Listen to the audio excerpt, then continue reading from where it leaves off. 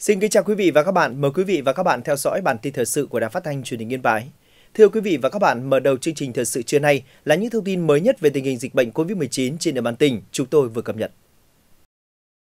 Thông tin nhanh về tình hình dịch bệnh COVID-19 trên địa bàn tỉnh Yên Bái tính đến 8 giờ ngày 30 tháng 11 năm 2021.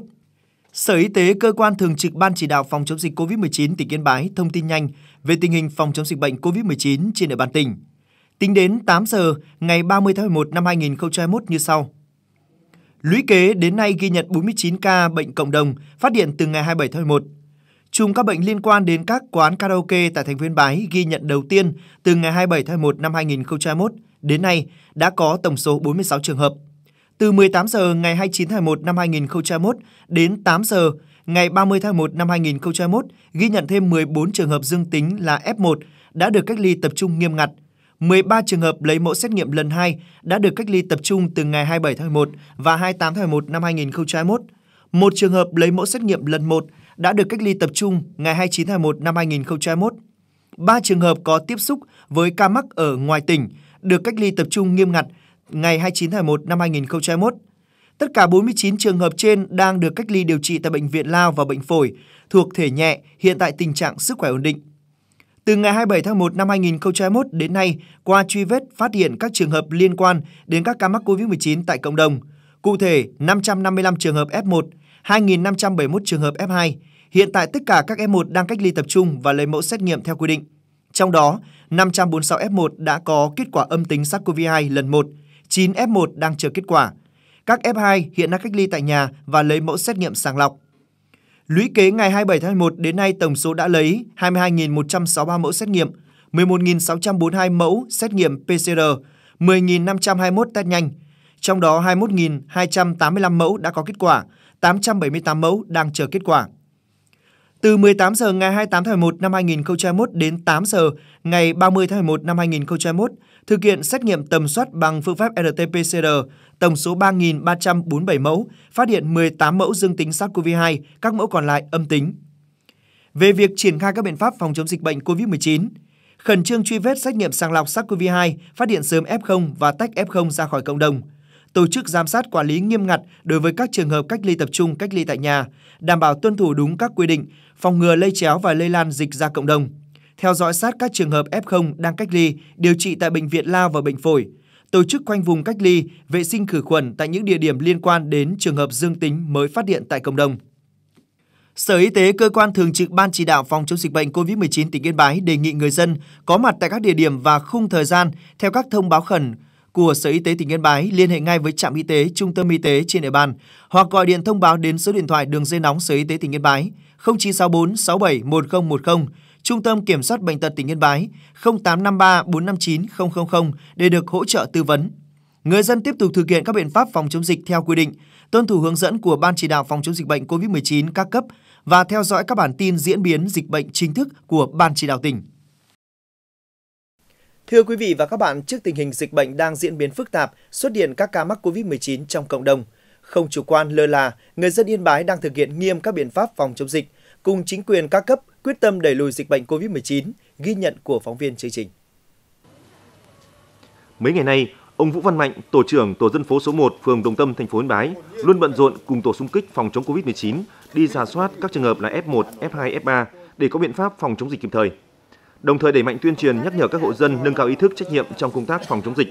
đặc biệt là thực hiện nghiêm túc việc đeo khẩu trang, khử khuẩn, giữ khoảng cách, không tập trung đông người và khai báo y tế hướng dẫn người dân liên hệ với trạm y tế phường để khai báo y tế hoặc theo dõi sức khỏe tại nhà. Cùng tổ xung kích và người dân quản lý tốt nhân khẩu tại địa bàn. Tất cả các văn bản thông báo hoặc chỉ đạo của chính quyền, ngành y tế cũng được ông Mạnh triển khai đến các hộ dân trong tổ thông qua hệ thống Zalo. Thế là tổ xung kích chúng tôi đang đi tuyên truyền vận động nhân dân nên là hạn chế tối đa không ra khỏi nhà khi không có việc cần thiết và thực hiện nghiêm các cái biện pháp 5K nếu ra khỏi nhà là bắt buộc phải đeo khẩu trang và tránh tiếp xúc gần phải giữ khoảng cách 2 mét. Và tuyên truyền các cái à, quán karaoke nhà hàng là không được ừ, bán hàng quán bia quán ăn ấy thì chỉ được phép bán mang về nhà. Thế các người dân cũng đang nhận thức cao về vấn đề này đang chấp hành rất tốt. Nhờ làm tốt công tác tuyên truyền, triển khai mạnh mẽ, quyết liệt các biện pháp phòng chống dịch, nên ý thức của người dân Yên Bái được nâng lên rõ rệt. Người dân hiểu rõ được sự nguy hiểm, tác hại của dịch bệnh và các biện pháp phòng chống. Do đó, việc khai báo y tế được người dân thực hiện nghiêm túc đầy đủ. Ngoài các trường hợp cách ly tập trung, các trường hợp theo dõi sức khỏe tại nhà cũng nghiêm túc chấp hành các quy định về phòng chống dịch. Nhận thức rõ phòng chống dịch không chỉ bảo vệ sức khỏe cho bản thân mà còn là trách nhiệm với cộng đồng. Mỗi người dân Yên Bái đang tiếp tục thực hiện nghiêm túc hơn nữa các biện pháp phòng chống dịch, tin tưởng tuyệt đối vào sự lãnh đạo chỉ đạo của các cấp chính quyền và ngành y tế. Hiện nay thì bản thân tôi và gia đình cũng thực hiện đầy đủ theo cái biện pháp 5K. Thế và ờ, đi đâu thì luôn luôn là các cái cự ly tiếp xúc trên 2 mét để đảm bảo an toàn cho mình và cho cộng đồng. Sau khi là có cái dịch này nó bắt đầu nó bùng phát lên ở ở thành phố mình ấy, thì là chúng tôi cũng là nghe nghe theo cái tuyên truyền của các trên các cái thông tin đại chúng của tổ dân phố. Thì là cũng uh, uh, thực hiện rất là tốt các cái các cái quy định. Ví dụ như là mình không tụ tập đông người thế và mình đi đâu về là mình có sát khuẩn đi ra đường là mình đeo khẩu trang thế rồi về nhà nếu đi đâu xa ờ, đi chợ đi bố mà đi có cháu nhỏ là về nhà còn phải thay quần áo rồi phải tiếp xúc với cái cháu cơ trong khi chính quyền địa phương và ngành y tế tỉnh Yên Bái đang nỗ lực sàng lọc, truy vết dịch bệnh COVID-19 tại các điểm có nguy cơ lây nhiễm cao để có các giải pháp khoanh vùng, ngăn chặn kịp thời, hiệu quả, thì việc người dân đang thực hiện nghiêm các biện pháp phòng chống dịch là việc làm cần thiết, thể hiện trách nhiệm cao đối với cộng đồng, quyết tâm cùng tỉnh bảo vệ thành quả trong công tác phòng chống dịch bệnh COVID-19 suốt thời gian qua. Hơn lúc nào hết, tinh thần trách nhiệm, sự tự giác của mỗi người dân Yên Bái đang được đặt lên hàng đầu, được coi là lá chắn thép trong phòng chống dịch Covid-19, góp phần ngăn ngừa và đẩy lùi dịch bệnh. Chương trình sẽ được chuyển sang những thông tin thời sự đáng chú ý khác.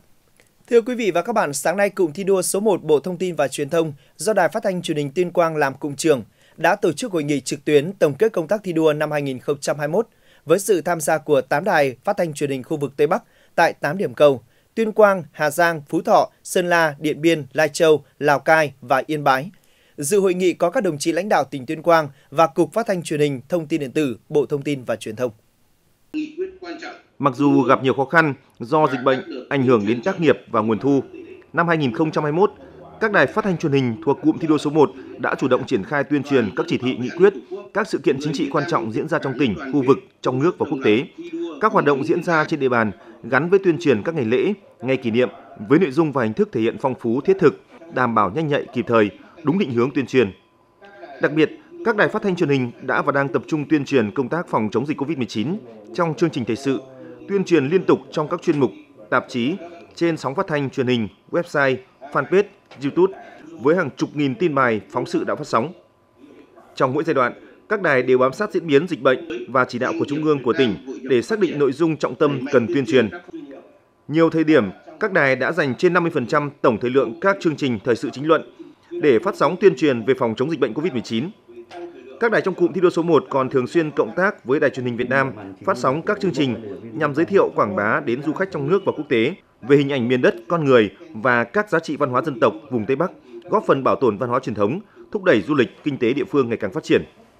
Một số đài đã vận hành khai thác sử dụng hiệu quả hệ thống thiết bị trường quay ảo, trường quay ngoài trời, sử dụng hiệu quả xe truyền hình lưu động, thực hiện các chương trình cầu truyền hình, truyền hình trực tiếp các sự kiện của tỉnh, các ngành và trực tiếp tại studio. Nhiều đài trong cụm được xây dựng mới trụ sở làm việc. Bên cạnh hoạt động chuyên môn, các đài còn thực hiện tốt công tác xây dựng tổ chức đảng tại đơn vị, công tác an sinh xã hội tại địa phương. Năm 2022, cụm thi đua số 1 quyết tâm triển khai và thực hiện tốt các phong trào thi đua do Bộ Thông tin Truyền thông phát động, phấn đấu hoàn thành xuất sắc mọi nhiệm vụ được giao, tiếp tục bám sát định hướng tuyên truyền của Trung ương, của tỉnh và các sự kiện thời sự chính trị của đất nước, của địa phương, kịp thời phản ánh trên sóng phát thanh truyền hình. Cùng với đó tập trung đổi mới và nâng cao chất lượng các chương trình phát thanh truyền hình, thực hiện sản xuất chương trình theo hướng từng bước chuyên nghiệp, đẩy mạnh đổi mới phương thức trao đổi, hợp tác sản xuất chương trình và các hoạt động giao lưu, hợp tác với các đài phát thanh truyền hình trong khu vực và cả nước, phù hợp với đặc điểm vùng miền,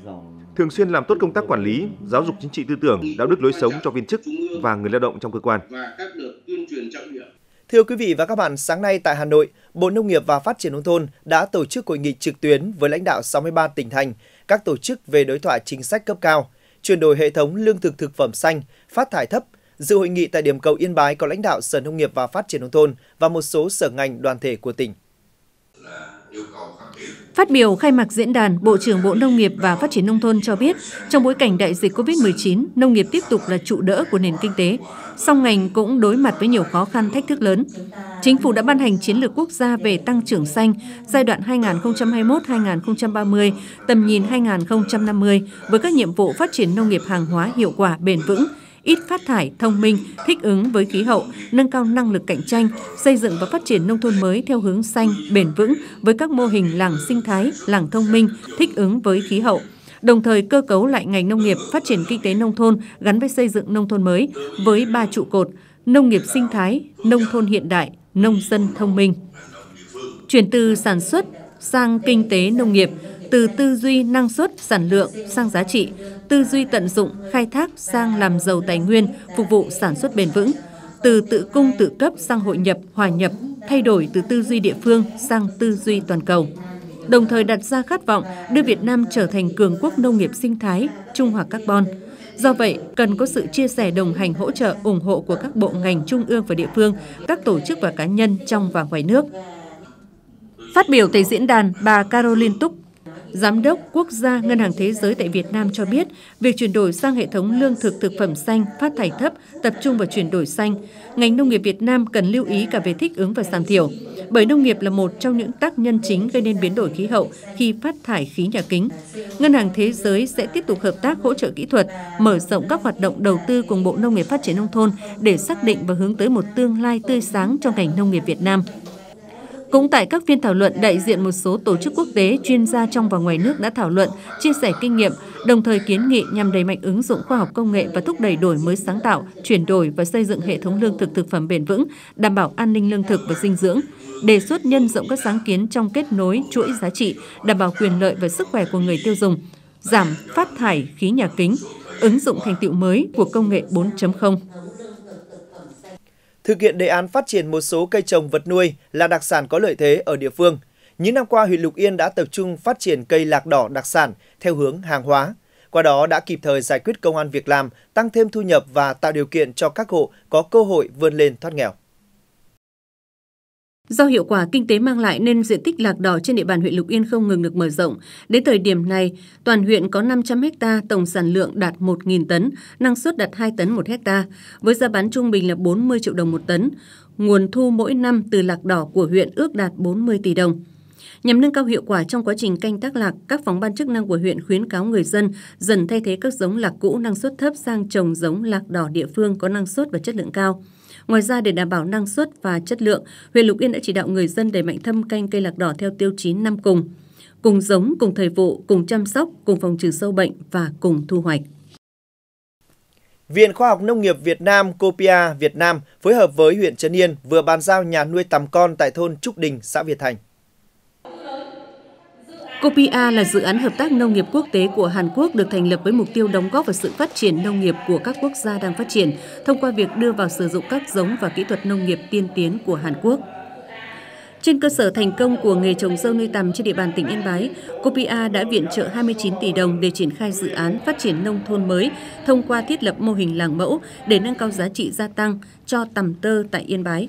Dự án sẽ triển khai trồng mới 150 ha dâu với khoảng 500 hộ tham gia nuôi tằm và sản xuất 187 tấn kén tằm. Ngoài ra, dự án còn được các chuyên gia Hàn Quốc sang Việt Nam để giúp bà con nông dân khắc phục những vấn đề tồn tại trong việc quản lý chăm sóc dâu, nuôi tằm và sản xuất chế biến sản phẩm. Công trình nhà nuôi tằm con tập trung thuộc dự án làng nghề trồng dâu nuôi tằm được xây dựng theo quy mô nhà xây cấp 4, diện tích xây dựng 300 m2. Việc khánh thành và đưa vào sử dụng nhà nuôi tằm con sẽ góp phần để hợp tác xã dâu tằm tơ Việt Thành có thể nuôi 100 vòng tằm con trên lứa mà vẫn đảm bảo tốt yêu cầu kỹ thuật như nhiệt độ, tiết kiệm diện tích nuôi, tiết kiệm công vệ sinh, dụng cụ nuôi tằm. Vừa qua, huyện Trạm Tấu đã phối hợp cùng công ty du lịch trách nhiệm hạn và thương mại Hưng Việt Yên Bái tổ chức tour du lịch leo núi chinh phục đỉnh Tà Xùa, cao 2.865 m so với mực nước biển, đây là đỉnh cao thứ ba nằm trên dãy Hoàng Liên Sơn hùng vĩ. Với những địa danh đỉnh đầu rùa, sống khủng long, rừng rêu cổ thụ và đỉnh cao tà sùa 2.865 m, từ trung tâm xã Bản Công, du khách phải vượt qua chặng đường núi dài khoảng 18 km, hành trình trên các vách núi cao, xuyên qua các cánh rừng hoang sơ. Trên quãng đường hành trình du khách được khám phá phong cảnh thiên nhiên hùng vĩ với những cánh rừng nguyên sinh cổ thụ rêu phong, những rừng hoa tự nhiên tuyệt đẹp với những điểm dừng chân săn mây kỳ thú, Tour du lịch khám phá thiên nhiên mạo hiểm chinh phục đỉnh cao Tà Xùa mới được huyện Trạm Tấu phối hợp cùng công ty trách nhiệm hữu hạn và thương mại Hưng Việt Yên Bái khai thác nhằm quảng bá giới thiệu đến du khách trong và ngoài nước về cảnh quan thiên nhiên kỳ thú của huyện vùng cao Trạm Tấu với nét văn hóa đậm đà, bản sắc của đồng bào Mông, đồng bào Thái cùng nhiều món ẩm thực đặc trưng mang đậm hương sắc núi rừng Tây Bắc. Thưa quý vị và các bạn, việc xây dựng và đưa vào hoạt động các tuyến đường điện thắp sáng đường quê do công đoàn cơ sở trên địa bàn huyện Văn Yên phát động đã góp phần giữ gìn an ninh trật tự ở địa phương, tạo điều kiện để bà con nhân dân yên tâm lao động sản xuất, phát triển kinh tế xã hội và đẩy nhanh lộ trình xây dựng nông thôn mới, nông thôn mới nâng cao ở các xã trên địa bàn huyện Văn Yên. Hôm nay, các đoàn viên công đoàn của xã Đông Cuông, Viện Kiểm sát Nhân dân huyện, trường mầm non, trường tiểu học và trung học cơ sở Đông Cuông và nhân dân thôn Gốc Quân, xã Đông Cuông, huyện Văn Yên đã tiến hành lắp đặt hệ thống điện tuyến đường điện thắp sáng đường quê tại thôn với chiều dài gần 1,5 km, tổng kinh phí trên 30 triệu đồng. Trong đó, các công đoàn cơ sở hỗ trợ trên 3 triệu đồng tiền mặt, 10 triệu đồng tiền dây và ngày công lao động, còn lại là do nhân dân trong thôn đóng góp bằng tiền và ngày công lao động. Đã tiến hành là phát động hưởng ứng cuộc phong trào và vận động đến tận đoàn viên, à, mỗi đoàn viên công đoàn là đóng góp ủng hộ à, cho thôn cùng với thôn Gốc Quân là ủng hộ được 3 trên 3 triệu đồng. Đồng thời là à, ủng hộ đường dây là trên 10 triệu đồng với cái chiều dài là 1.500 mét à, xây dựng à, tại thôn Gốc Quân. Công trình đường điện thắp sáng đường quê do Liên đoàn Lao động huyện Văn Yên phát động tới các cụm công đoàn nhằm chung tay xây dựng nông thôn mới. Khi công trình hoàn thành đưa vào sử dụng đã phát huy hiệu quả tạo điều kiện cho người dân trong thôn gốc quân sinh hoạt và đi lại dễ dàng hơn vào ban đêm, đồng thời góp phần phòng chống tệ nạn xã hội, đảm bảo an ninh trật tự xã Đông Cuông, chung tay cùng chính quyền và nhân dân xã Đông Cuông phấn đấu hoàn thành chương trình mục tiêu quốc gia xây dựng nông thôn mới nâng cao. Hôm nay là được sự quan tâm của chính quyền các cấp và công đoàn Vận Yên là Ờ, ủng hộ thôn Gốc Quân uh, là thực hiện con đường thắp sáng đường quê gồm là dài tổng chiều dài là hơn một cái số là 1.500 mét. Thế để thực hiện mà cái uh, thành công cái uh, nông thôn kiểu mẫu ấy, đây là công trình sáng xanh, sạch đẹp, văn minh, an toàn do Công đoàn xã Tân Hợp huyện Văn Yên và các công đoàn trực thuộc thực hiện đã giúp xã về đích nông thôn mới theo đúng lộ trình và tạo điều kiện thuận lợi cho việc đi lại sinh hoạt của người dân, đảm bảo an ninh trật tự. Sau khi ờ, cái thắp sáng đường quê được vào sử dụng thì bà con nhân dân rất vui mừng và phấn khởi tại vì đã các à, đoạn đường thì hiện tại bây giờ đã đều được à, à, sáng để thuận tiện cho bà con đi lại. Xây dựng kế hoạch để vận động các cái đơn vị công đoàn cơ sở đã được Liên đoàn Lao động huyện phân công phụ trách thì được 5 đơn vị. Thì trên cơ sở đó thì công đoàn cơ sở cũng đã phối hợp với lại ban công tác mặt trận ờ, khu dân cư thôn Khe Dẹt vận động nhân dân à, chọn địa điểm à, thực hiện công trình tại thôn Cái Dẹt. À, đây là một trong những công trình à, của công đoàn cơ sở xã nhà để chào mừng và đồng thời đóng góp vào cái công cuộc xây dựng nông thôn mới. Thực hiện đợt cao điểm ngày thứ bảy cùng dân, phong trào tuyên truyền vận động nhân dân hiến đất làm đường giao thông nông thôn, cuộc vận động xây dựng mô hình 50 năm sạch, phong trào thắp sáng đường quê, tuyến đường hoa gắn với chương trình mục tiêu quốc gia xây dựng nông thôn mới giai đoạn 2020-2025 Liên đoàn Lao động huyện Văn Yên đã xây dựng kế hoạch vận động các công đoàn cơ sở trực thuộc ủng hộ thực hiện công trình đường điện thắp sáng đường quê trên địa bàn các thôn tại các xã. Phong trào đã lan tỏa rộng khắp trên địa bàn huyện. Những con đường nông thôn được thắp sáng ngày càng nối dài trên các miền quê, vùng đất quế. Thì Liên đoàn Lao động huyện Văn Yên đã xây dựng kế hoạch vận động các công đoàn cơ sở trực thuộc trong huyện để thực hiện phong trào công trình đường điện thắp sáng đường quê trên địa bàn các thôn tại các xã đã được các cấp công đoàn trong ờ, huyện hưởng ứng ờ, rất nhiệt tình ờ, và đóng góp các ngày công lao động, đóng góp tiền của để xây dựng các tuyến đường điện thắp sáng đường quê. Và đến nay đã đóng góp được 29 km đường điện với 600 ngày công và tổng số tiền đóng góp là 446 triệu đồng. Ánh điện từ những công trình đường điện thắp sáng đường quê của các cấp công đoàn huyện Văn Yên đã làm thay đổi diện mạo nông thôn và khẳng định vai trò của cấp công đoàn trong việc thực hiện chương trình mục tiêu quốc gia xây dựng nông thôn mới trên địa bàn huyện Văn Yên.